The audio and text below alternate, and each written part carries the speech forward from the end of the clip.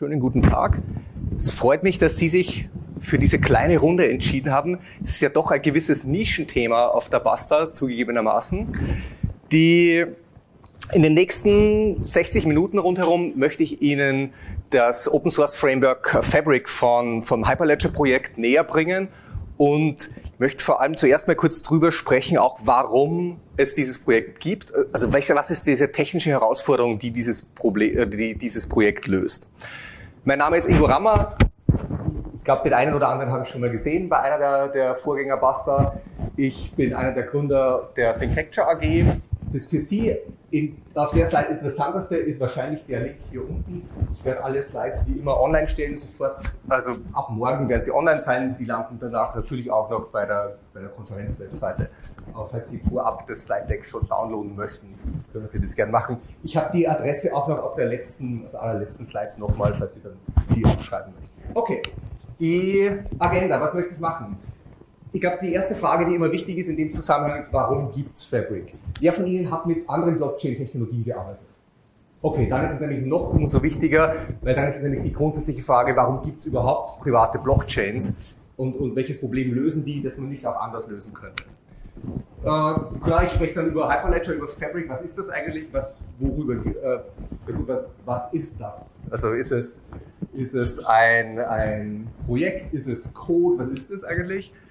Wir gehen dann rein in die Konfiguration eines Netzwerks. Wie sieht ein Fabric-Netzwerk aus? Was ist in diesem Netzwerk drinnen? Welche Datenflüsse gibt es? Wie werden Daten ausgetauscht? Ich gehe dann auf die Transaktionsbehandlung.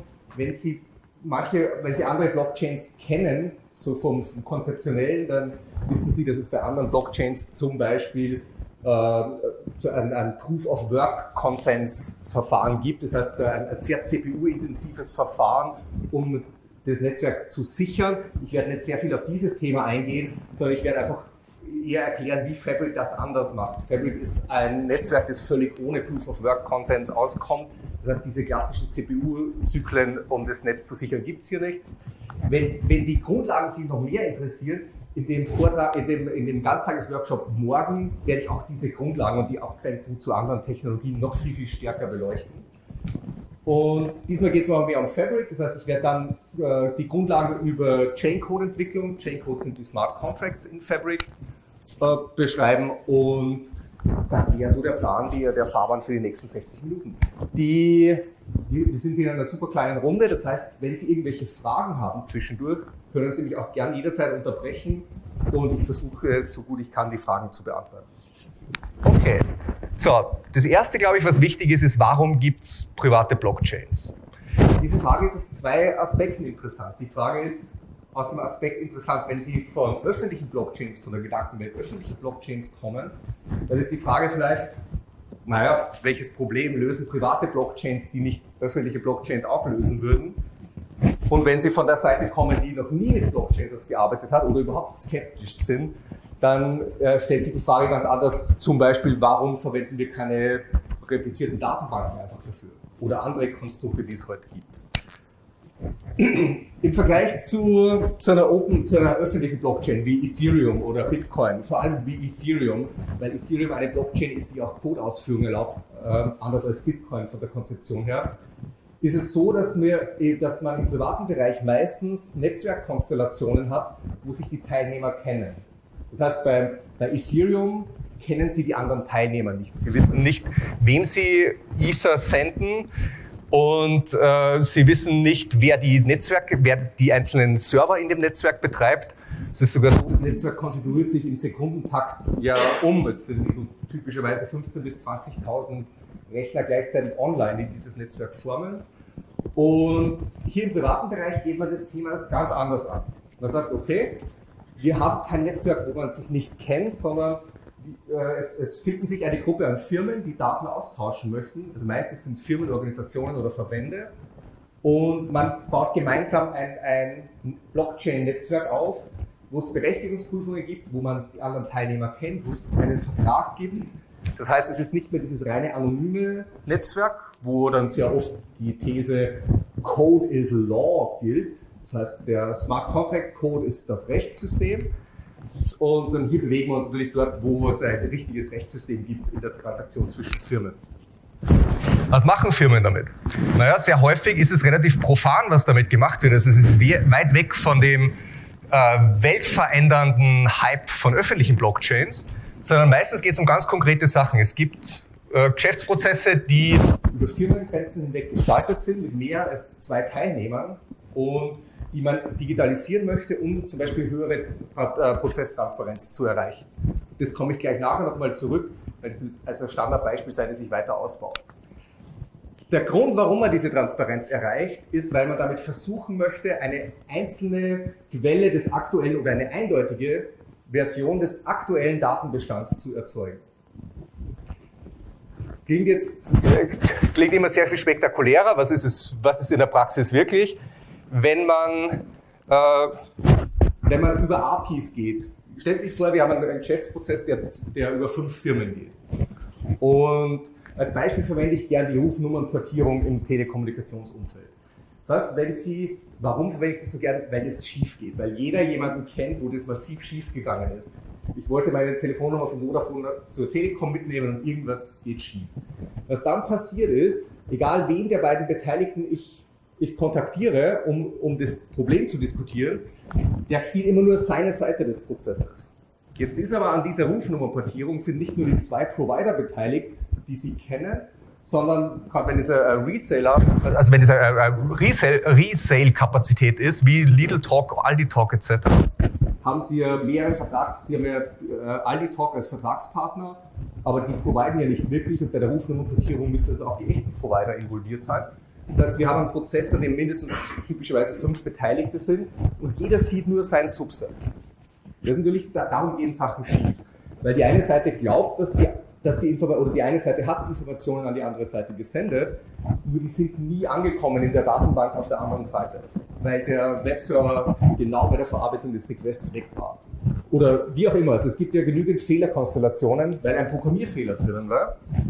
Und was jetzt passiert ist, alle, die, alle diese vier Firmen plus Sie als fünfter Beteiligter haben eine andere Sicht auf die Welt. Und Darum gehen Sachen schief. Was tun wir heute in der Praxis, wenn Sachen schief gehen? Naja, es gibt in Deutschland die Bundesnetzagentur. Die hat eigentlich andere Aufgaben, aber die verwendet einen Großteil ihrer Zeit interessanterweise dafür, sogenannte Eskalationen zu, zu verarbeiten. Es gibt um die 20.000, knapp bei den 20.000 Eskalationen, äh, 20.000 Requests an die Bundesnetzagentur mit 6.000 Eskalationen, glaube ich, pro Jahr plus minus was die Bundesnetzagentur tut hier, ist, sie versucht eine Telekonferenz zu schalten, also einen ganz normalen äh, fünf Parteien Telefonkonferenz, wo ein Vertreter von der, von der Vodafone, von der Aldi Talk, von der Telekom und von Lidl Talk und Sie und die Bundesnetzagentur in einer Telefonkonferenz sind und jeder erzählt, was er so glaubt, dass die Wirklichkeit ist. Und dann einigt man sich in diesem wirklich am Telefon, das ist ein hochanaloger Prozess. Der gesamte Prozess ist analog, der startet mit Faxübertragung. Und ja, wir sind erst im Jahr 2019, das ist alles Neuland. Die, und dann einigt man sich menschlich wirklich, was die Sicht der Welt ist und man sagt, okay, die Daten habe ich gesendet, der andere sagt, die habe ich nicht empfangen. Sag ich, ah, okay, da ist unser Problem und so wird das Problem gelöst. Das heißt, es gibt bei, bei firmenübergreifenden Prozessen die keine eindeutige Quelle der, des aktuellen Stands haben, immer so eine Konsolidierungsphase, eine unerwünschte Konsolidierungsphase, wo, wo man aus, die Daten austauschen muss, seine Sicht auf die Welt, um die gemeinsame wieder temporär zu erzeugen. Und ab dann laufen die Datenbanken wieder getrennt. Das versucht man, oh, ich sehe mein Mikrofon, das ist schlecht. Das versucht man bei Blockchains zu vermeiden oder mit Blockchain-basierenden Systemen zu vermeiden, indem es technische Varianten gibt, um diese Konsolidierung nach vorne zu verlagern, so dass man sie nicht manuell hinten machen muss. Dazu komme ich gleich wieder zurück. Wie gesagt, Papierprozesse heute sind eher mühsam.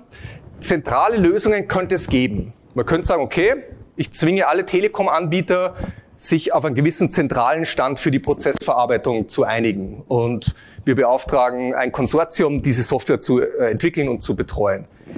Macht man auch für Teile, ist, also im Telekom-Umfeld gibt es das zum Beispiel. Es gibt ein zentrales System, wo zumindest die Zuordnung einer Rufnummer zu dem aktuell verantwortlichen Provider zentral in einem von T-Systems ursprünglich entwickelten System gespeichert wird. Und, aber die, diese Lösungen entwickeln sich immer nur, wenn es jemand erzwingt von außen. Also wenn irgendein Regulator wie eine Bundesnetzagentur sagt, ihr müsst. Es gibt wenig Unternehmen, die sich da selbst hinsetzen. Oder es gäbe schon Unternehmen. Es gäbe natürlich den Wunsch von, von allen Beteiligten zu sagen, wir müssen diesen Prozess optimieren. Weil alle Beteiligten wissen, es ist mühsam. Die Telekom weiß, es ist mühsam, die Vodafone weiß, es ist mühsam. Nur wenn die Telekom oder die Vodafone hingehen würden, fiktiv gesprochen, und sagen würden, wir programmieren jetzt das zentrale Rufnummernverwaltungssystem für Deutschland naja, würde sofort der andere Marktteilnehmer sagen, das glaube ich nicht, dass ihr das programmiert, das kann ich mir überhaupt nicht vorstellen, weil wir sind nämlich die Richtigen, die, die das programmiert. Und dann kommt man auf die Pattsituation, wie wir heute sind, weil man vertraut dem Gegenüber ja nur bedingt in einer Wettbewerbssituation. So, sobald man das Ganze jetzt über Ländergrenzen hinweg denkt, hört es auch sehr schnell auf. Es gibt sehr wenig Regulatorik, die länderübergreifend funktioniert und die, die erzwungen werden kann gibt immer mehr, im Medizintechnik, äh, Medizinbereich gibt es immer mehr, aber so insgesamt ist, ist es etwas, was sehr regional funktioniert. Okay. Wenn ich das Problem so beschreibe dann, äh, und mit Technikern darüber spreche, die noch nicht mit Blockchains gearbeitet haben, dann ist oft so der erste Punkt, naja, dann bauen wir halt eine replizierte Datenbank. Und ist ja kein Problem, ist ja etwas, was wir seit, seit Jahrzehnten machen können. Und dann gibt's das ist, also das ist fundamental absolut richtig. Und interessanterweise ist eine Blockchain nichts anderes als eine verteilt replizierende Datenbank am Ende des Tages. Und es ist nur so, dass die Blockchain-Tools verschiedene Probleme lösen, die man sonst, wenn man mit einer normal replizierten Datenbank beginnen würde, selbst lösen muss. Zum Beispiel ist es so, dass wenn man normalerweise an replizierte Datenbanken denkt, dann entwickelt man meistens ein System, das einen Single Writer hat und, und verschiedene lesende Nodes. Das heißt, man würde irgendwo eine zentrale Entität bestimmen und die anderen hätten halt Read-Only Replikate von dem. Das wäre typisch. Wenn man zwei Wegen, äh, Updates implementiert, weiß nicht alle, die das schon mal gemacht haben, den gleichen Datenbestand von mehr als einer Partei gleichzeitig änderbar zu machen, das ist etwas, das erhöht die Komplexität gleich dramatisch weil man sich irgendwie über Konsolidierungsregeln Gedanken machen muss, wie man Fehler behandelt in dem System, wenn nämlich zwei Leute gleichzeitig etwas ändern oder zwei Parteien in dem Ganzen. Das ist, noch, das ist relativ einfach, das hat man technisch sehr schnell heraus und gibt es auch genügend Ansätze, die das Problem lösen. Gibt dann verschiedene Fragen, die übrig bleiben. Wenn man die lösen möchte, wird das Ganze immer, immer schwieriger und immer teurer. Das heißt, ich habe einmal klassische Fehler in der Verfügbarkeit. Wenn ich einen Single Writer habe, in unserem Telekom-Beispiel wieder, ist die Frage, wer betreibt den, welche, welche Verfügbarkeitsgarantien gibt's etc. Das nächste ist, naja, wie weit vertraue ich dem, der diesen Single Writer betreibt? Wenn ich die, die Telekom bin und Vodafone sagt zwar, wir entwickeln die Software nicht, die können wir gemeinsam entwickeln, aber wir operaten den den Schreibeprozess, na, dann muss ich der, der Seite relativ viel trauen. Das ist bei Telekom Rufnummerportierung ist eins, da kann man noch sehr schnell trauen. Wenn es da aber darum geht, zum Beispiel äh, Seriennummern in einem Fertigungsprozess über Jahre hinweg dokumentiert aufzubewahren, um dann zum Beispiel Manipulationen an einem Diesel äh, Gerät zu oder an einer Motoransteuerung nachzuweisen, naja, dann wird man vielleicht, dann vertrauen sich die Partner vielleicht nicht mehr so eindeutig, weil jemand, einer der Beteiligten sehr viel davon hätte, im Nachhinein die Daten zu verändern. Auf, rein auf technologischer Seite muss ich mir überlegen, wie läuft dort der Code? Wie werden, wie setzen wir Updates in dem System um? Wie setzen wir verteilte Berechtigungssystem um? Das heißt, ich habe sofort Aufgaben, die ich eigentlich gar nicht lösen wollte. Äh, wenn wir an personenbezogene Daten denken, reicht eine reine replizierte Datenbank meistens nicht aus, weil ich muss saubere Löschprozesse drüber abdecken oder also saubere Löschprozesse reichen mir gar nicht. Ich habe nämlich Datensparsamkeit als, als Gebot.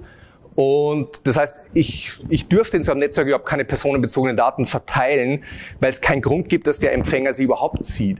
Das heißt, ich, parallel, was meistens passiert, wenn man repliziert, in unserer Rufnummerportierung zum Beispiel wieder, dass man parallel noch ein Punkt-zu-Punkt Webservice-Netzwerk aufsetzt, mit dem ich Zusatzinformationen, die nicht für alle interessant sind, also die, die nur transient sind im Prozess, Punkt zu Punkt austausche. Bei der Rufnummerportierung wäre es so, dass die Zuordnung Provider zu Rufnummer, also zuständiger Telekom-Anbieter zu Rufnummer, könnten alle lesen, aber die Zuordnung Rufnummer zu Name und Geburtsdatum, weil das ist der Primary Key rechtlich für eine für Portierung, dass man die natürlich nicht öffentlich irgendwo replizieren kann. Das äh, geht schon mal rein rechtlich nicht auf. Das nächste ist, wir haben einen Governance-Prozess, also wer darf überhaupt Daten austauschen, wer mit wem, wer darf Daten korrigieren etc. Okay, das heißt, ich habe eine ganze Menge Fragen, die von meinem einfachen Case, von wegen ich möchte Rufnummernportierung zwischen mehreren Teilnehmern abdecken, hingeht auf, naja, ich muss Fundamentalforschung in Datenbanktechnologie betreiben. Und das ist in vielen Fällen nicht sinnvoll und das ist das, wo jetzt die Werkzeuge rund um private Blockchains reinkommen. Das heißt, man geht hin und sagt, ja, uns reicht eine replizierte Datenbank. Aber nur wenn wir all das lösen und genau das löst Fabric. Zum Beispiel, Fabric ist nicht das einzige Tool, aber Fabric ist eins dieser Tools, die genau diese Sachen adressieren. Okay, schauen wir weiter. Also was ist Fabric? Zuerst, was ist Hyperledger? Hyperledger ist ein, äh, ein, ein Projekt der Linux Foundation und ist aber kein technisches Projekt, sondern ist, ist so ein, ein Portfolio-Projekt. Das heißt, da sind verschiedene Blockchain-Technologien drinnen. Hyperledger ist das Projekt, das von der Linux Foundation verwendet wird, um alle Blockchain-Projekte, alle technischen Blockchain-Projekte zusammenzubringen. Fabric ist eines davon. Und Fabric fokussiert sich extrem auf Business-to-Business-Anwendungsfälle. Das heißt genau auf Datenaustausch zwischen Unternehmen. Man wird dort keine öffentlichen Kryptowährungen damit abdecken. Das ist nicht Fokus dieses Systems. Was es kann, ist, es kann verschiedene Sachen, die man im B2B-Bereich braucht. Das heißt, es hat so Grundkonzepte rund um, um Berechtigungssysteme, um Verwaltung von, von privaten Daten auch drinnen, um für Punkt-zu-Punkt-Austausch etc. Und was vielleicht auch noch für den einen oder anderen interessant ist, Heute ist Fabric die Basis für diese, die Blockchain as a Service Angebote, zum Beispiel von IBM und Oracle und teilweise auch von, von SAP. Das heißt, wenn Sie heute die IBM, in der IBM Cloud eine Blockchain as a Service bestellen oder konsumieren, dann liegt dahinter dieses Tooling. Sie bekommen einen schönen Prozess über Fabric. Okay, das Szenario, das ich gern verwende, um Blockchains zu, er, äh, zu erklären oder darüber zu reden, ist genau unsere Rufnummernportierung. Wo man halt davon ausgeht, man möchte es dezentral lösen. Es gibt also mehrere Telekom-Unternehmen und einen Regulator, die Interesse daran haben, Daten auszutauschen. Und es gibt dann sogenannte Smart Contracts oder in der, in der Blockchain, im Blockchain-Umfeld Smart Contracts genannte äh, Codefragmente, die während diesem Aus, dieses Austauschs äh, ausgeführt werden, um, naja, um die Business-Regeln abzudecken am Ende des Tages. Okay, dann schauen wir, wie, Fabric so, wie man mit Fabric so ein Problem angehen würde. Das erste ist, Fabric hat ein klares Konzept von Organisationen. Das heißt, es ist nicht nur so ein technischer Teilnehmer, wie in Ethereum zum Beispiel. Ethereum ist so, dass da, da gibt es Accounts, die haben, äh, die bestehen im Prinzip aus einem Private und Public Key Paar. Und wenn Sie den Private Key für einen Account haben, können Sie über die Informationen oder das, das Geld in diesem Account verfügen. Aber niemand weiß, wem der Account gehört. Und Fabric ist anders. Fabric geht von Anfang an davon aus, dass Organisationen ein Netzwerk aufbauen wollen. Das heißt, der, der Term Organisation ist ein Kernkonzept in Fabric, auf das auch Berechtigungen zum Beispiel definiert werden können. Was machen die Organisationen? Sie betreiben Serverprozesse. Die können, also sie betreiben Nodes innerhalb dieses Netzwerks. Die Nodes werden verbunden. Was die Organisationen auch machen, ist, sie verwalten ihre User jeweils. Das heißt, im im Fabric-System, Fabric geht von einem verteilten Berechtigungssystem aus. Es ist nicht so, dass es eine zentrale Instanz gibt, die alle User und alle Gruppen und alle Berechtigungen kennen muss, sondern die Organisationen können verteilt ihre User verwalten. Technisch gesehen ist es eine, eine Public Key Zertifikatsinfrastruktur, die da dahinter liegt einfach. Das heißt, die, die einzelnen User sind durchaus definiert durch Public-Private Key Paare, aber sie werden halt dezentral verwaltet und die Zuordnung und die Rechtevergabe erfolgt dezentral. Okay, das heißt, wir haben jetzt Organisationen, die haben ihre User, die möchten Daten miteinander äh, austauschen in verschiedenen Prozessen. Um das zu machen, kann Fabric oder kennt Fabric das Konzept eines Channels.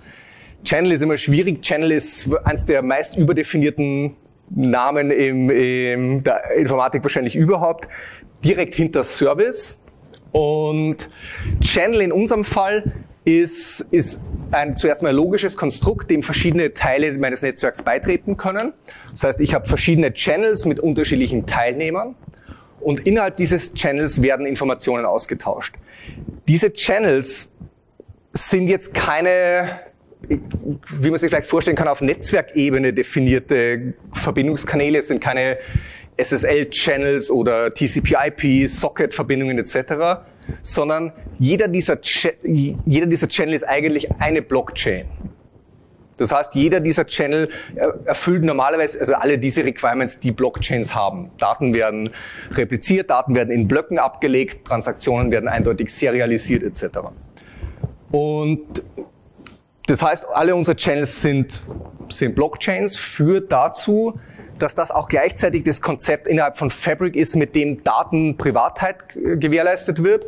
Oder das heißt Privat, Privatheit, es wird gewährleistet, dass halt nur die Teilnehmer des Channels die jeweiligen Daten sehen, die in diesem Kanal äh, verfügbar sind. Und Channels sind auch berechtigungsgeschützt. Wie nahezu alles in Fabric, sobald es irgendeine Operation gibt, die das Verhalten des Netzwerks ändert, benötigt man Berechtigungen dafür, um sie zu ändern. Oder es gibt sogar einen, einen, einen Governance-Prozess, der eine, eine Mehrparteienabstimmung notwendig macht. Bedeutet in der Praxis, äh, ich kann mit Fabric verschiedene Governance-Prozesse abbilden. Es gibt im, im Blockchain-Umfeld äh, typischerweise im Business-to-Business-Umfeld zwei äh, normalerweise verwendete Governance-Prozesse. Das eine ist der, der Nicht-Blockchain-Prozess, von wegen, ich habe die, dieses Netzwerk erschaffen, ich kann bestimmen, wer teilnehmen darf. Das heißt, wir, äh, ich habe die zentralisiert auf eine, auf eine Instanz, die, das Berechtigungskonzept. Wäre bei der Rufnummerportierung so weil dort die Bundesnetzagentur schon rein rechtlich diese, diese Verantwortung hat. Und äh, gibt aber auch Alternativen, wo zum Beispiel über einen Mehrheitsentscheid ein neuer Teilnehmer in einen Channel mit aufgenommen wird. Wo man einfach sagt, es haben sich fünf Medizinunternehmen zusammengefunden, um, um eine rechtliche Vorgabe zu implementieren, ohne dass der Regulator selbst drinnen sitzt und äh, man bestimmt über einen Netzwerkvertrag, der technisch durch eine Mehrheitsentscheidung abgebildet wird, wann jemand dazu oder weg darf. Es gibt innerhalb dieser Channel nicht nur permanente Daten wie in den meisten Blockchains, es gibt auch transiente Daten, das heißt Daten, die nur für ein gewisses Subset an Personen oder an Teilnehmern sichtbar sein sollen und die auch wieder verschwinden können. Aus Blockchain-Sicht landet in diesem Fall nur der Hashcode dieser Daten auf der Blockchain selbst die eigentlichen Daten landen in einem getrennten transienten Datenspeicher, den halt, der halt prozessgesteuert nach einer gewissen Anzahl an, an Blöcken wieder freigegeben werden kann. Damit erlaubt Fabric zum Beispiel, anders als viele andere Blockchains, dass man Löschprozesse, die von der Regulatorik, äh, DSGVO und ähnliche Regulatorik erforderlich sind, umsetzen kann. Was die Channels noch machen, ist, sie sind die Basis für die Smart Contracts. Das heißt, die Existenz und welche Smart Contracts gibt, werden pro Channel verwaltet. Die Smart Contracts in, in Fabric. Ich weiß nicht, wer Smart Contracts nicht kennt. Ich gehe mal kurz zur Seite, wo, wo das herkommt. Smart Contracts, das, das klingt extrem, das klingt extrem mächtig. Und wenn man den Blockchain-Hype verfolgt hat in der Vergangenheit, dann weiß man, dass mit Smart Contracts der, der Energiemarkt revolutioniert wird und der komplette Automotive-Sektor und das, äh, ich weiß nicht, das autarke und, und automatisierte Fahren von, von Autos etc. etc. Das heißt, irgendwie projiziert die Welt sehr viel oder projizierte die Welt sehr viel auf Smart Contracts. In Wirklichkeit sind Smart Contracts weder smart noch Contracts. Smart Contracts sind, können Sie sich vorstellen, wie ein Datenbanktrigger. Wir haben ein verteiltes System, über mehrere, über mehrere Firmen verteilt. Und wir machen ein technisches System, mit dem man Datenbanktrigger definieren kann. Das heißt, statt dass wir uns im Nachhinein über Konsolidierung von Daten unterhalten müssen, können wir im Vorfeld eins erreichen, und ich komme gleich dazu, wie man das erreicht, dass ein Stück Code ausgeführt wird, wann immer ich etwas in meine Datenbank einfüge, auf meiner Seite. Und der Code prüft, ob dieses, diese Daten, die ich einfügen möchte, logisch konsistent sind, ob die, ob die überhaupt eingefügt werden dürfen. Und das kann er deswegen, weil alle Beteiligten vorher sich auf eine Art von, von Regel, auf ein Set an Regeln, auf einen Smart Contract geeinigt haben. Und wenn wir das machen, dann, dann kann jeder von uns die Prüfung durchführen und jeder hat das gleiche Ergebnis am Ende. Das ist meistens die Idee hinter Smart Contracts. Das gleiche passiert bei Ethereum und bei Bitcoin. Die haben diese Smart Contracts teilweise entweder flexibel oder fix verdrahtet. Aber der Bitcoin Smart Contract im weitesten Sinne ist die Sicherstellung, dass wenn ich sage, Sie verkaufen mir Ihren Laptop für, für zwei Bitcoin und ich sende zwei Bitcoin in Ihre Richtung, dass Sie sich darauf verlassen können, dass ich diese zwei Bitcoins auch hatte und dass nach der Transaktion Sie darüber verfügen können. Das ist der hardcodierte Smart Contract innerhalb von Bitcoin am Ende des Tages. Und das Gleiche kann man bei Telefonnummern machen. Im Zuge eines Portierungsprozesses könnten Sie zu mir gehen und sagen, ich hätte gern diese Nummer zu mir rübergezogen. Ich kann es in meinem Backend-System prüfen, die Dokumentation prüfen, die Sie mir senden und irgendwann sage ich, ja, ich bin einverstanden, ab jetzt gehört Ihnen die Nummer und dann wird darüber so verfügt wie über ein Bitcoin zum Beispiel. Und plötzlich kann ich nachweisen oder kann ich nachverfolgen, wer jetzt für welche Nummer verantwortlich ist. Das sind diese Smart Contracts. Aber es sind wirklich nur Datenbanktrigger oder Stored Procedures, je nachdem, wie Sie sich das am besten vorstellen wollen, die halt verteilt auf, auf, bei mehreren Beteiligten ausgeführt werden. In, jetzt technisch gesehen, auf Fabric ist es so, dass diese, diese Smart Contracts, die Fabric Chain Code nennt, und äh, dass die auf einen, dass die nicht auf jedem Teilnehmer des Netzwerks verfügbar sein müssen, sondern nur auf einem Subset. Das ist anders als bei Ethereum zum Beispiel. Bei Ethereum wird jeder Smart Contract bei jeder Transaktion, äh, bei, bei jedem Netzwerkteilnehmer ausgeführt. Das verändert natürlich die, die Skalierbarkeit des Netzwerks.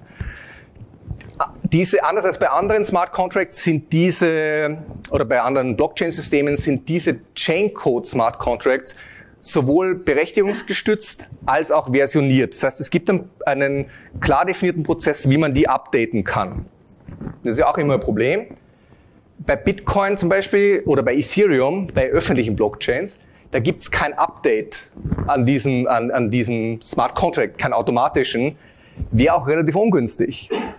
Weil stellen Sie sich vor, wir bauen hier ein, unsere eigene Kryptowährung auf und wir machen eins, der, der Smart Contract wird so definiert, dass er genau wie bei Ethereum funktioniert. Also ich kann nur Geld senden, das mir, das ich habe, etc. etc. Und wir machen das zwei Jahre. Jeder von uns hat eine, hat eine gewisse Anzahl an, an Coins bekommen. Und nach zwei Jahren ändere ich unilateral den Code dieses Netzwerks. Und der Code jetzt heißt, alle Ihre Coins gehören mir. Ja, das wäre relativ ungünstig. Oder der Code heißt, Sie können nur über das Geld verfügen, das Sie haben aber ich kann über alles verfügen, auch ob ich es habe oder nicht habe. Also das wären sehr ungünstige Varianten in der Praxis. Also für Sie, für mich wäre es relativ günstig. Und darum äh, ist es in, vielen Blockchains im, im, öffentlichen Bereich etwas, was absolut unerwünscht ist. Im Business-to-Business-Bereich sieht die Welt natürlich anders aus. Man weiß, dass es diese Updates geben wird. Und man findet halt einen Prozess, wieder einen Abstimmungsprozess, zum Beispiel einen technischen Abstimmungsprozess, wie die Versionierung durchgezogen wird. Was diese, diese Smart Contracts jetzt machen oder diese Stored Procedures oder wie immer man sich vorstellen möchte, ist, dass sie auf eine, auf ein, jeweils auf eine lokale Datenbankkopie zugreifen und dort Daten lesen oder schreiben können in dieser oder von dieser lokalen Kopie. Das sind technisch gesehen bei Fabric typischerweise Instanzen von CouchDB, die einfach parallel zu dem Fabric Server Prozess auf der gleichen Maschine laufen. Okay. okay. Jetzt will mein Klicker nicht mehr. Nee, ja. Okay. Die, sondern die nächste Frage ist, wie stellt jetzt, wie kann irgendein System von verteilten Datenbanktriggern, ich mache mir absichtlich ein bisschen überspitzt, jetzt sicherstellen, dass man gemeinsam auf den gleichen Stand an Informationen kommt, weil das ist immer das, worum es geht. Und das ist bei, bei Fabric anders als bei den meisten anderen Systemen. Und darum ist, finde ich das äh, relativ interessant und relativ wichtig.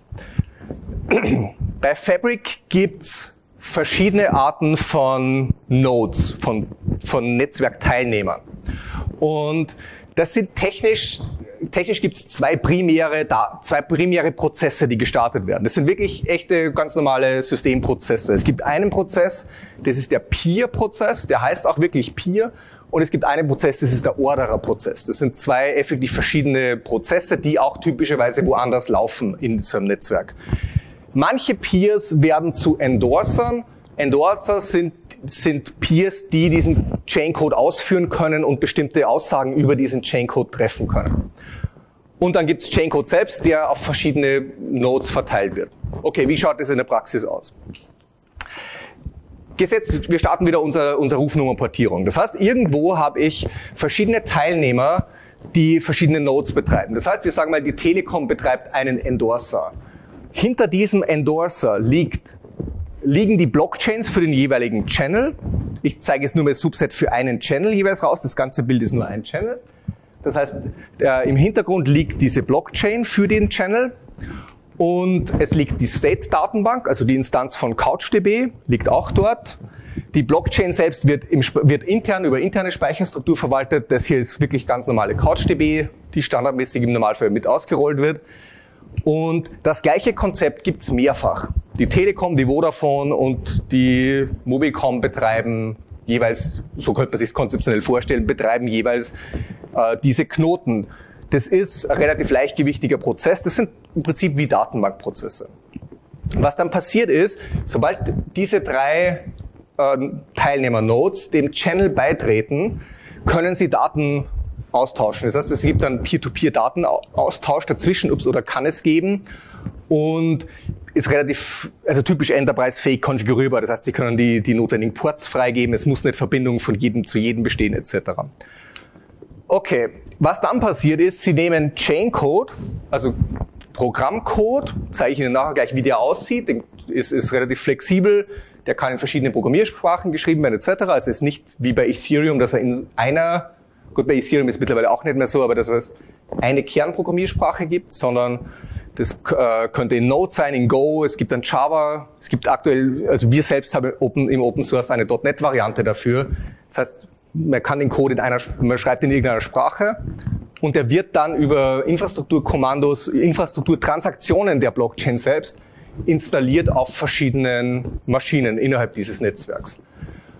Und zwar von den Eigentümern dieses, dieser Maschine. Es ist nicht so ein automatisches System wie Ethereum, wo sofort ein äh, Chaincode ausgerollt wird über alle, sondern die Beteiligten hier müssen dem explizit zustimmen, dass sie den ausrollen wollen.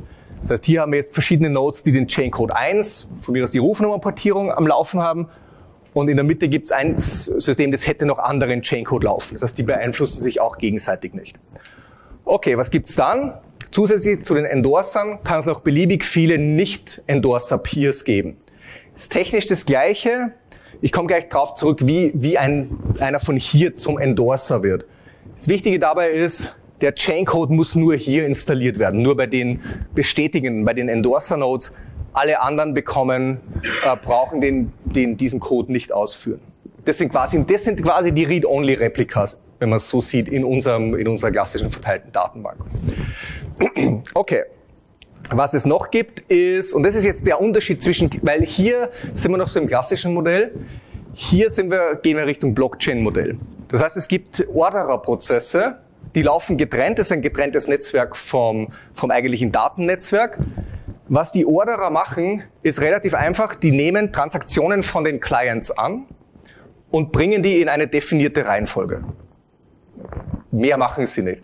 Aber es ist immer bei, bei Synchronisationsprozessen ist es essentiell wichtig, dass, dass die Welt, also alle Beteiligten hier Transaktionen in einer gewissen Reihenfolge sehen, weil nur dann kann man darüber nachdenken oder als Code darüber eine Entscheidung treffen, ob die Transaktion gültig ist oder nicht. Wenn ich Ihnen zwei, wenn ich zwei Bitcoin habe und ich schicke Ihnen zwei und Ihnen zwei, dann muss das System irgendwie feststellen, wem ich es in Anführungszeichen zuerst gesendet habe. Und das ist genau das, was Bitcoin macht. Bitcoin hat einerseits diesen Smart Contract, wo es intern prüft, ob ich das überhaupt habe, was ich behaupte zu haben. Und als zweiter stellt sicher, über, nicht sofort, und, äh, sondern, sondern über gewisse Zeitspanne hinweg, dass die Aussagen, die wir, die Transaktionen, die wir gesendet haben, in einer genau definierten Sequenz sind, so dass die Welt sich dann einig sein kann, ob ich es in die Richtung oder in die Richtung als erste geschickt habe. Okay. Die, wie geht's weiter? Na gut, irgendwo gibt es dieses Netzwerk, irgendwo gibt es ein Client, der Client verwendet einen SDK in Java zum Beispiel oder in, in, mit Node.js in JavaScript, um Transaktionsvorschläge zu erzeugen. Das heißt, der erzeugt eine, eine Wunschtransaktion. Das heißt, die Wunschtransaktion könnte zum Beispiel sein, ich möchte, ich stimme der Übergabe einer Rufnummer zu. Das heißt, ich sage, okay, diese Rufnummer soll an den Teilnehmer 3 gehen und der gehört mir. Dieses Proposal, und das ist jetzt der Kernunterschied zwischen Fabric und allen anderen Netzwerken. Bei anderen Netzwerken würden, würden diese Proposals einfach an das Netzwerk gesendet werden, also an irgendeinen Node im Netzwerk. Die würden das durchreplizieren und irgendwann würde jede einzelne Node über, über Proof-of-Work-Algorithmen rausfinden, in welcher Sequenz die Transaktionen eigentlich waren. Die Proof-of-Work-Algorithmen machen in dem Fall einfach eins, wer diesen Algorithmus, dieses Kryptorätsel durch den extremen CPU-Einsatz gewinnt, also wer die Antwort findet, der darf über die Sequenz der Transaktionen in diesem einen Block entscheiden. Und dann geht's weiter und die, alle anderen Teilnehmer versuchen, dieses Kryptorätsel wieder zu lösen und, und äh, investieren sehr viel CPU-Zeit zu dem Zeitpunkt. Das ist in Fabric nicht so. In Fabric gibt's ein, äh, gibt's eine Endorsement Policy hinter jedem Aufruf und in der Policy wird festgelegt, für diesen, für, für diesen Chain Code müssen mindestens folgende Endorser unterschreiben. Das heißt, da könnte drinstehen, das sind wirklich sehr flexible Regeln, das heißt, da kann drinstehen, es muss mindestens die Bundesnetzagentur und zwei Telekom-Anbieter unterschreiben. Welche sind uns aber egal aus dem Netzwerk. Oder es muss die Bundesnetzagentur und nur ein weiterer Telekom unterschreiben. Und was der Client macht, ist, der hat sein Transaktionsproposal, technisch abgebildet diese Endorsement Policy und der schickt es raus an die Endorser, die er braucht, um diese Policy zu erfüllen. Das klingt alles spannend, das ist eine Zeile Code. Also ein Großteil von dem passiert im Hintergrund automatisch. Die Endorser simulieren jetzt die Transaktion, das heißt, die, die führen den Chaincode aus, machen aber die Datenbankänderung nicht. Das heißt, die gehen durch und sagen, okay, die Nummer soll von A nach B transferiert werden. Das geht natürlich nur, wenn vorher A überhaupt die Nummer hatte und führen diese Prüfung durch und sagen, ja, ich bin mit der Transaktion einverstanden. Und übrigens am Ende hat dann B die Nummer. Das heißt, die speichern ab, die, die, die, die signieren äh, wirklich mit einer kryptografischen Signatur die Seiteneffekte einer Transaktion. Die führen die, nicht, die führen die Transaktion nicht durch, sondern sagen nur, wenn ich sie durchführen würde, dann hätte ich folgende Daten gelesen in folgender Version, dass man nachher eine Versionsprüfung durchführen kann, und ich hätte folgende Daten geschrieben. Was Sie machen ist, Sie signieren das, der Client, das Ganze geht, das Signaturpaket geht zurück ans, an den Client, der hat jetzt eine Transaktion, die er selbst unterschrieben hat und die drei Endorsements, die Bestätigungen und nimmt diese Transaktion und sendet sie an ein Orderer-Netzwerk. Dieses Orderer-Netzwerk äh, findet über verschiedene Algorithmen, gibt es verschiedene Varianten äh, und werden auch weiterentwickelt, findet heraus, in welcher Sequenz man die Transaktionen abspielen möchte und packt diese Transaktionen mehrere in einen Block und verteilt die, den entstandenen Block an die Peers.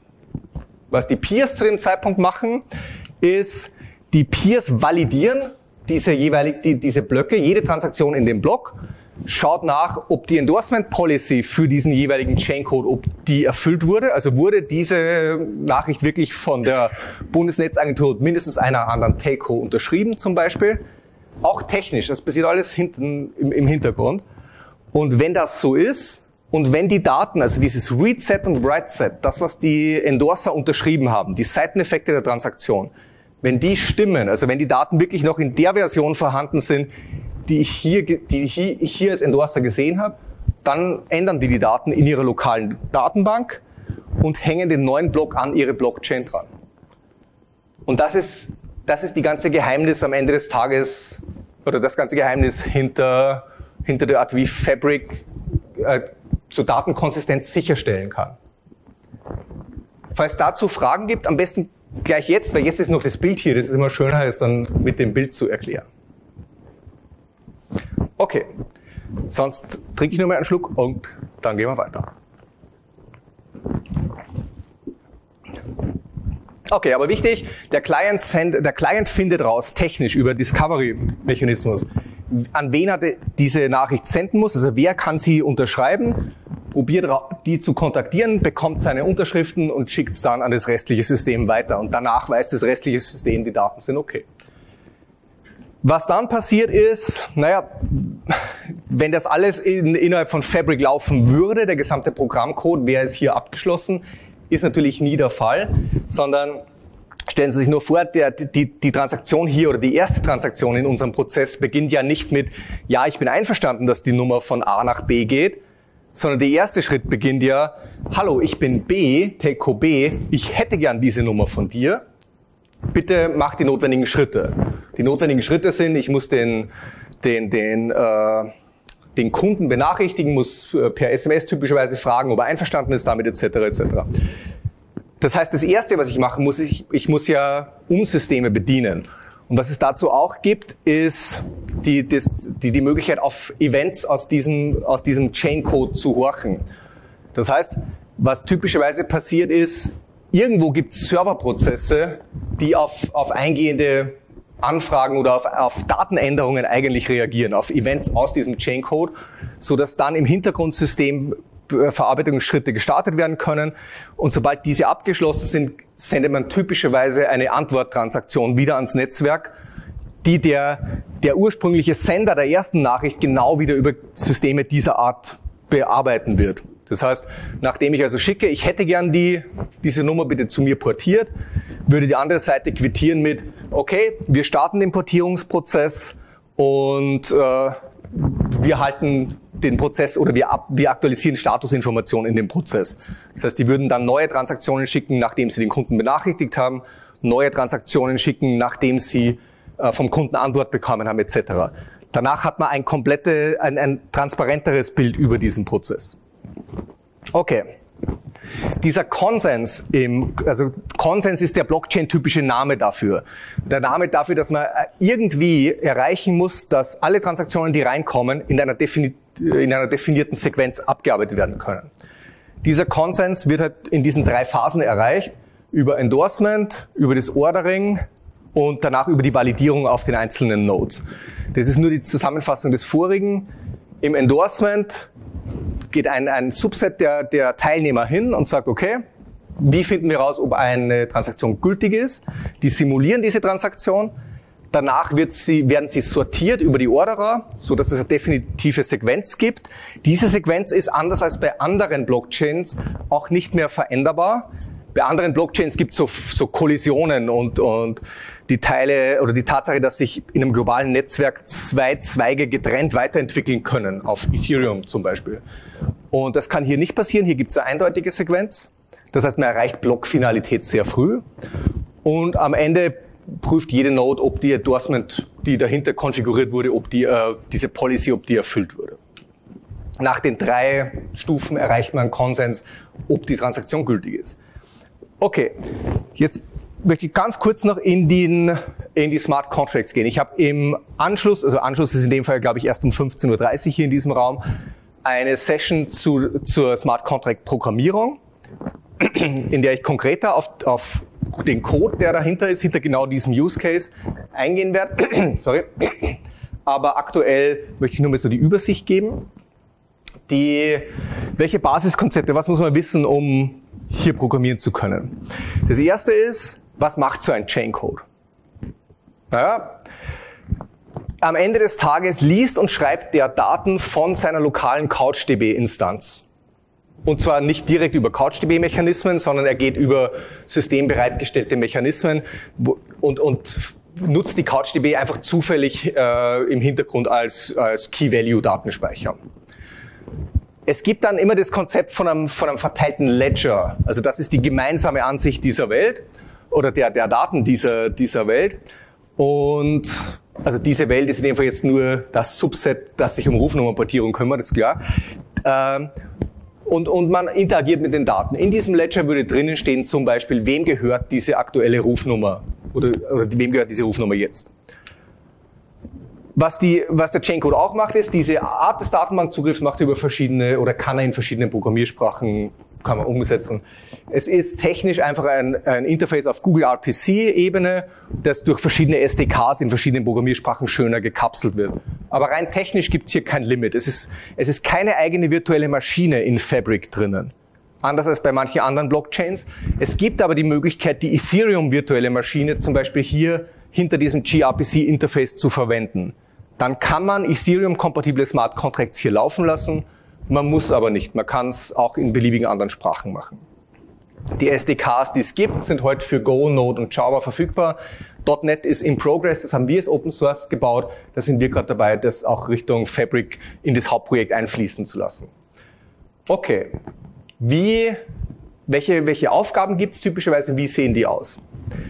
Naja, was macht typischerweise ist Chaincode äh, etwas, was sehr, sehr klein ist. Das heißt, der Großteil der Logik wird in den jeweiligen Backend-Systemen stattfinden. In dem Chaincode wird die Telekom nicht reinschreiben, wie sie selbst an, an, mit ihrer Kundendatenbank interagiert. Sondern beim Chaincode geht es darum, das sind eigentlich die kodifizierten Regeln, auf die man sich gemeinsam geeinigt hat. Weil das ist ja, der Chaincode ist ja bei jedem von uns gleich, wenn wir hier ein Netzwerk aufbauen würden. Und das sind die Regeln, wo wir gesagt haben, okay, danach möchten wir jetzt, oder diesen Prozess möchten wir vereinfachen. Da steht zum Beispiel drinnen, A kann an B nur dann eine Nummer geben, wenn A sie vorher hat. Außer es ist der, die, die Bundesnetzagentur, die darf immer überschreiben und sagen, ich gebe die Nummern von dem an den.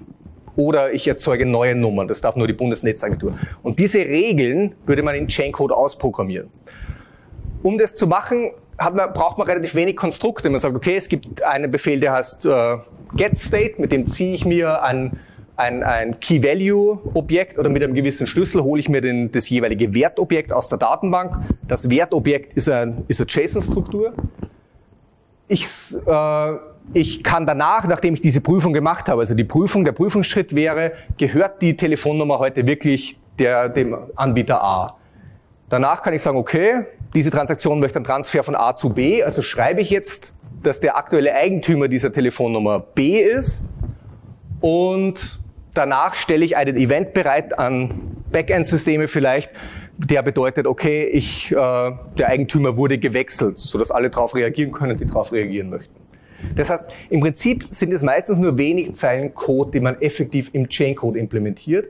Man, man würde vor allem nicht, zum Beispiel nicht auf externe Systeme gehen oder so, sondern das ist typischerweise, also externe, also nicht direkt aus dem Chaincode. Der C-Sharp-Code oder der Node-Code im Chaincode würde kein Webserver aufrufen bei mir intern, um etwas zu prüfen. Wenn ich an ein externes System gehe, dann würde ich immer über ein Event gehen müssen, weil ich sonst das Endorsement nicht durchführen kann. Weil die anderen drei Beteiligten oder die anderen zwei, die, die dieses Endorsement simulieren, hätten keinen Zugriff auf meinen lokalen Webservice-Endpunkt zum Beispiel. Das heißt, das ist immer wichtig, im Endorsement muss, äh, oder im, im Chaincode soll man nur das machen, was wirklich alle Beteiligten beurteilen können.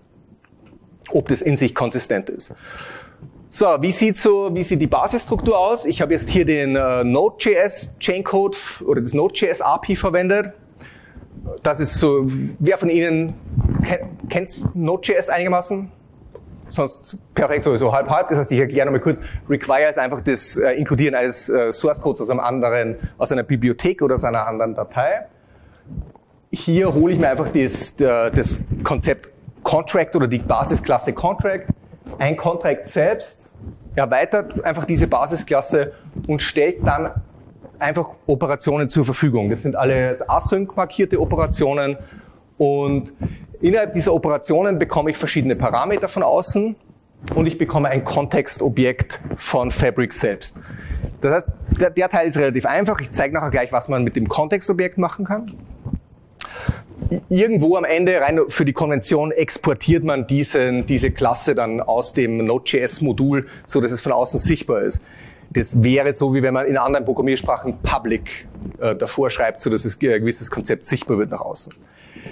Der Aufrufer erzeugt ein JSON-Objekt, das er an dieses Transaktionssystem gibt, zuerst ans Endorsement und dann ans Ordering. Und in diesem Transaktionsobjekt hält er einfach fest, welchen Contract will er aufrufen.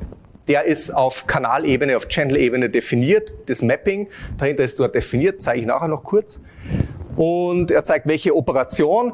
My Contract ist hier einfach der Präfix, den man hier wählen kann. Der ist optional, falls man mehrere Contracts hier mischen oder, oder das aufgliedern möchte. Er gibt dann, also das heißt, das ist einfach ein, ein Mapping per Konvention. Ich sage, ich möchte diese Funktion aufrufen. Die ist auf dem Contract definiert. Das ist die Funktion, die ich aufrufen möchte. Die Parameter werden als Array übergeben Wichtig oder interessant dabei ist, das sind nur Strings. Auch wenn ich Zahlen übergebe, ist es so, dass Fabric selbst nur Strings kennt.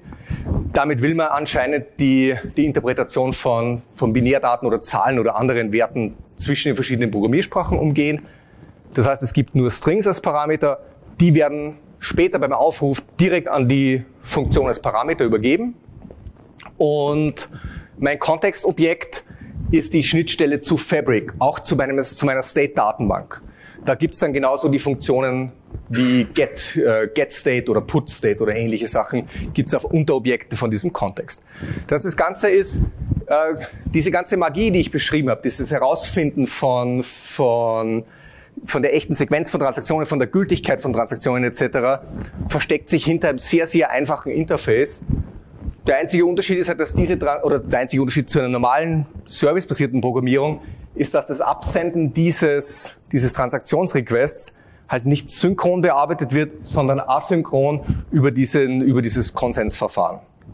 Die asynchron bedeutet aber, ja, dass, die, die, dass man hier mit, mit, natürlich mit einer Blockchain arbeitet, das heißt, es werden irgendwo Blöcke erzeugt, aber die Blockzeiten sind im Sekundenbereich, die sind nicht im, im Minutenbereich wie bei, Block, äh, wie bei Bitcoin. Bitcoin hat ja eine Blockzeit von circa 10 bis 15 Minuten pro Block Ethereum von circa 10 bis 15 Sekunden pro Block. Und hier gehen wir auf eine konfigurierte Blockzeit von typischerweise einer Sekunde. Das heißt, alle Transaktionen, die innerhalb von einer Sekunde kamen, werden, werden in einigen Block gepackt und danach ans Netzwerk verteilt. Das, das ist, das ist so der, der Zeitlag, mit dem man leben, mit dem man lebt, einfach wie, wie bei allen Blockchains. Okay. Wie sieht Chaincode aus? Also was, was tut man hier? Naja, äh, man hat dieses Kontextobjekt, da gibt es ein Stub-Objekt. Äh, Stub ist alles, womit ich mit, meinem, mit meiner Fabric-Instanz, die den Chaincode lädt, kommuniziere. Und dort gibt es halt Kommandos wie getState. Ich hole mir das JSON-Objekt oder ich hole mir in Wirklichkeit hier den, den, ein Byte-Array aus meiner Datenbank. Das Byte-Array werde ich ups, nachher äh, als JSON interpretieren. Es gibt die Möglichkeit, Abfragen zu senden. CouchDB hat, eine, hat eine Abfragesprache, die man hier nutzen kann. Das heißt, man kann auch komplexere Abfragen an die Datenbank senden. Könnte man sich so vorstellen wie, wie Views, die man vordefiniert. Hier bei getQueryResult gibt man den Namen einer View an, nur dass die View halt auf äh, CouchDB eigene Varianten definiert wurde. Also kein SQL-View, sondern eine CouchDB-View. Wenn man Daten speichern möchte, so gibt es ein Kommando put state, wie man sich vorstellen würde, wenn es get state gibt. Und man muss das aber wieder als Byte Arrays senden. Und das, die Byte Array Implementation auf JavaScript-Seite oder bei Node-Seite wird sehr oft in einem Buffer-Objekt gewrappt. Das heißt, hier sage ich einfach, ich brauche ein Buffer-Objekt, da soll dieser Wert drinnen stehen. Also das ist nur als Beispiel hier. Und wenn ich einen Event nach außen senden möchte, sodass mein, mein internes Backend-System reagieren kann, ja, dafür gibt es einen Aufruf, der heißt Set-Event. Es ist wirklich so, er heißt Set-Event. Es gibt nur einen Event pro Transaktion. Ist, Sie können keine Events emitten in einer Event-Reihenfolge, sondern der letzte gewinnt. Aber es gibt halt irgendein Event und danach werden die, die Daten nach außen übergeben. Was man auch machen kann, und das ist dann, das ist natürlich essentiell wichtig, ohne dem würde die ganze Blockchain keinen Sinn machen, keinen großen, ist, ich kann raus, herausfinden, wer der Aufrufer ist. Ich habe vorkonfiguriert, wie, wie gesagt, äh, Fabric geht vom, von einem Kernkonzept aus, dass Organisationen an einer Blockchain beteiligt sind. Das heißt, das Konzept einer Organisation ist relativ weit oben angesiedelt. Und daher kann ich natürlich auch bei, bei verschiedenen Aufrufen prüfen, von welcher Organisation kommt der Aufruf zum Beispiel. Ich könnte auch prüfen, von welchem User. Ich könnte prüfen, welche Zusatzattribute hat die Organisation in dem Zertifikat dem User mitgegeben etc. Aber das Einfachste ist mal der Prüf, die Prüfung auf, auf den Eigentümer dieser oder der, den Absender dieser Transaktion oder die Organisation, die äh, für die Transaktion abgesendet wurde. MSP steht in dem Fall einfach für Membership Service Provider weil hier geht es um die Organisation, die das Zertifikat für den Benutzer ausgestellt hat. Und der Benutzer selbst signiert die Transaktion. Okay, beim Aufrufen, wie sieht denn der Aufruf für so, ein, für so eine Interaktion aus? Naja, das ist relativ einfach. In Wirklichkeit können Sie sich das sehr ähnlich vorstellen wie die Interaktion mit einer Datenbank. Es ist nur die Interaktion mit einer Datenbank, die, die kein Username und Passwort zur Authentifikation verwendet, sondern die, die clientseitige Zertifikate zur Authentifikation verwendet.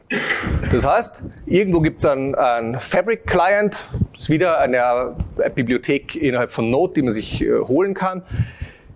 Wenn man den instanziert, kann man über einen Create-User-Aufruf ein User-Objekt erzeugen. Das heißt, das Create-User legt keinen User an, es gibt nur ein User-Objekt. beim, beim äh, Instanzieren von einem Objekt gebe ich die, den Private Key mit, also die textuelle Repräsentation des Private Keys, den ich von einer Datei hole oder von Azure's, äh, Azure Key Vault oder ähnlichem. Danach äh, baut man die Verbindung oder konfiguriert die Verbindung zu einem gewissen Channel, gibt den, quasi den Serverprozess an, an den man sich oder mit dem man sich verbinden möchte weil es laufen ja mehrere Server, es betreibt ja jeder seinen eigenen Server. Das heißt typischerweise in meinem Code, wenn ich die Telekom bin und die Telekom selbst eine Peer-Node betreibt, dann verbinde ich mich auch mit meiner eigenen Peer-Node hier. Ich könnte mich aber auch mit jeder anderen Peer-Node verbinden. Und also jede andere, für die ich Zugriffsmöglichkeiten habe. Wie gesagt, alles in Fabric ist immer hinter einem Berechtigungskonzept. Initialisiere den, den Channel und dann kann ich nur mehr sagen, möchte ich Discovery nutzen oder nicht. Das ist dann die, der Unterschied ist, möchte ich für meine Endorsement-Phase immer manuell angeben, an wen das Endorsement gesendet wird, an wen die, die, die, das Proposal gesendet wird fürs Endorsement, oder möchte ich das, das System automatisch herausfinden lassen. Das gebe ich noch mit und dann, ups, dann öffne ich den Kanal und ab dem Zeitpunkt kann ich Transaktionen hinsenden. Das ist wirklich relativ ähnlich, wie man mit einer mit einer Datenbank interagieren würde. Es ist nämlich am Ende des Tages nicht viel mehr als eine Datenbank. Es sind halt zwei Sachen. Es ist die einerseits die echte Datenbank und andererseits ist es dieses Ordering-System. Damit habe ich hier ein paar mehr Informationen, die ich brauche. Und wenn ich Chaincode aufrufe, erzeuge ich mir zuerst eine, Tra Transaktions-ID, eine eindeutige Nummer, mit der ich später den Erfolg oder Misserfolg dieser Transaktion nachverfolgen kann erzeuge diesen Proposal Request, den hatte ich rechts schon mal gezeigt. Das ist genau die Datenstruktur, die ich rechts gezeigt habe, wo drinnen steht, welchen Contract, welche Funktion, mit welchen Parametern. Zusätzlich steht jetzt die Transaktions-ID drinnen. Und dann sende ich das. Und jetzt geht's an, jetzt mit diesem Aufruf geht's ans Endorsement raus. Das heißt, wenn ich Discovery aktiviert habe, kontaktiert jetzt das System die Endorser, die dafür notwendig sind sammelt die Signaturen zusammen und sobald ich die Signaturen habe, nehme ich dieses fertig signierte Endorsement-Paket, transformiere es in ein Request-Paket und sende das an, die, an das Ordering-System. Das ist diese zweite Phase im Konsensprozess. Das heißt, diese komplizierten Phasen teilen sich in Wirklichkeit genau in dieses Send Transaction Proposal und Send Transaction aus der Client-Sicht. Und danach verarbeitet das System diese Transaktion gibt mir dann die Möglichkeit zu schauen, ob es, äh, zu, gibt mir die Möglichkeit entweder zu warten oder einfach über ein Event später zu horchen, ob die erfolgreich bearbeitet wurde oder nicht. Das sind dann Details, die, die zeige ich Ihnen gerne in der nächsten Session, wenn Sie dabei sind. Weil für die jetzige, für den Intro-Teil möchte ich lieber noch auf was anderes eingehen aktuell. Und das ist, wie der Chaincode eigentlich äh, ausgerollt wird oder wie, wie man sich das vorstellen kann weil das auch noch abweichend ist von anderen Blockchain-Systemen bei Fabric. Das erste ist, stellen wir uns mal vor, wir nehmen hier ein Subset unseres Netzwerks. Es ist jetzt hier ein, ups, eine Peer vom, von einer Telco und eine Peer von unserer Bundesnetzagentur. Es sind einfach zwei Teilnehmer hier sichtbar. Und irgendwo starte ich mit einem Paket, mit, einem, mit entweder einem fertig paketierten Chaincode oder mit dem Quellcode des Chaincodes. Ich kann auf beide Varianten das installieren. Und es muss explizit ein, ein Administrator ein, der jeweiligen Zielorganisation, also jemand, der berechtigt ist. Es muss kein Administrator als Person sein, sondern jemand, der dieses notwendige Zertifikat und den Private Key hat, um eine Transaktion als Administrator zu unterschreiben, äh, kann diesen Code installieren lassen hier auf der Peer und einfach über Peer Chain Code Install, das ist ein als Command Line Tool das man auch äh, im SDK skripten kann, wenn man das möchte. Und dadurch wird wirklich effektiv dieses Paket genommen von hier und in der ersten Phase einfach mal hierhin äh, deployed. Physisch wirklich ins Filesystem kopiert und liegt dann mal da. Mehr tut's noch nicht, außer dass wir wissen, dieses, der Inhalt dieses Verzeichnisses heißt intern Number Transfer, also so ein Number Transfer Smart Contract oder Chain Code in der Version 1, weil das sage ich beim Installieren, welche Version das ist. Das Gleiche tun die anderen Teilnehmer oder das Gleiche müssen die anderen Teilnehmer machen, die Endorsements aussprechen wollen. Und am Ende liegt halt der genau in dieser Version ver, äh, verfügbar auf dem, so laut hätte es gar nicht sein müssen, die Erinnerung, dass ich langsam schließen soll. Aber ähm, okay, die, das heißt, der liegt dann vorhanden. Das ist die erste Phase. Dadurch ist er aber noch nicht erreichbar. Er liegt jetzt nur mal hier. Wenn ich ihn erreichbar machen möchte, dann muss ich ihn mit einem Channel verbinden. Das heißt, der Channel muss wissen, welcher Chaincode in welchen Versionen für diesen Channel erreichbar ist. Und das Kommando dafür ist äh, Peer Chaincode Instantiate. Das heißt, wenn Fabric über Instanzierung spricht, dann meinen sie nicht so objektorientierte Instanzierung per New für irgendein Objekt in Memory, sondern es geht darum, einen Chaincode einem Kanal zuzuordnen und zwar in einer genau definierten Version. Das heißt, ich kann zwar hier beliebig viele Versionen verfügbar haben, aber pro Channel muss ich wissen, welche Version des Number, Number Transfer Contracts ist jetzt für diesen Channel aktiv. So dass ich nachher meine Requests richtig geroutet bekomme an den richtigen Chaincode. Okay. Die, der wird paketiert und oder installiert in ein oder in zwei äh, Schritten. Nicht alle Peers brauchen den, nur die Endorser benötigen den. Kann in mehreren Versionen existieren. Es wird pro Channel instanziert. Alles hier ist, ist aktuell nur so eine logische Zuordnung irgendwo in dem System. Alle diese Zuordnungen werden aber auf der Blockchain gespeichert. Das heißt, es kann nicht passieren, dass die Hälfte des Raums Version 1 verwendet und die andere Hälfte Version 2, sondern es wird festgelegt, für diesen Channel gilt ab diesem Block oder ab dieser Transaktion gilt Version 2 von dem. Und vorher hatten wir einen Prozess, mit dem wir das gemeinsam bestimmen konnten zum Beispiel. Das Ganze kann auch aktualisiert werden, auch der Upgrade, da gibt es einen Peer Chain Code Upgrade Prozess, der hängt in Wirklichkeit nur den die, die Versionsnummer um, so dass man weiß, okay, ab jetzt möchte ich an jeden Request, der hier auf diesem Channel für Number Transfer reinkommt, an die Version 2 weiterleiten. Die hinter dem ganzen Konzept, das habe ich jetzt öfter, ich habe schon öfter gesagt, ich weiß, weil es ist so wichtig, weil wenn man von anderen äh, Blockchains kommt, die verfolgen hier völlig anderes System. Aber nahezu alles, wenn ich hier so salopp drüber spreche, dann installieren wir einen neuen Chaincode etc. oder instanzieren den. Bei Fabric hat nahezu alles äh, Policies oder Berechtigungen. Und eine Policy könnte zum Beispiel so aussehen. Das wäre die angesprochene Endorsement Policy, wo ich sage, diese, ich brauche jede Transaktion unterschrieben von äh, einem Admin, also einem adminberechtigten User auf dem, auf dem, bei der Bundesnetzagentur und aus dieser Liste müssen noch zwei unterschreiben. Das heißt, so kann man sich das vorstellen. Das ist eine, eine relativ komplexe Variante oder eine Möglichkeit, wie man relativ komplexe Regeln abbilden kann. Es ist in, in Polish Notation, das heißt, die, die Verknüpfungsoperatoren sind vor dem Term, aber da muss man sich gewöhnen. Sieht eher aus wie Excel dann am Ende des Tages. Und so kann man das ausdrücken gibt es verschiedene, gibt es so, dass entweder muss äh, irgendwer oder es muss eine Mehrheit und, und verschiedene diese Varianten lassen sich damit abbilden. Was ich beim Chaincode noch äh, gerade noch nicht dazu gesagt habe, ist, dass der, die, der echte Start des Chaincode-Prozesses im Hintergrund passiert. Das heißt, durchs Instanzieren und durchs Deployen liegt der vorhanden auf der Maschine aber der echte Prozess im Hintergrund wird, wird dann einfach bei Bedarf gestartet. Das heißt, die werden bei Bedarf in einen Docker-Container verpackt, in ein Docker-Image verpackt. Darauf wird ein Docker-Container gestartet und jeder Chain-Code lebt in seinem eigenen Docker-Container. So ist die, so, so stellt Fabric die Isolation sicher zwischen den einzelnen Chain-Codes, zwischen einzelnen Versionen und dem Rest des Systems. Ja, okay, und es gibt also verschiedene Varianten, any, all, also jeder etc. von den Berechtigungen und es gibt natürlich äh, Bullshit-Operatoren ganz normal. Und damit kann all, all diese Prozesse, all diese Änderungen am Netzwerk, das Updaten eines Chaincodes etc. kann hinter einem Berechtigungskonzept verbaut werden und hinter einem Governance-Konzept, wo man sich als Gruppe einigen muss, was man erreichen möchte. Okay, und damit bin ich ein paar Minuten drüber, aber ich stehe nur mal kurz zwischen Ihnen und dem Mittagessen.